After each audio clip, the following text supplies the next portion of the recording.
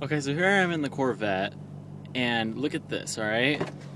Hold on down, I'm making a video, alright, so if you read this, the back seat is never is not as the safest place for children.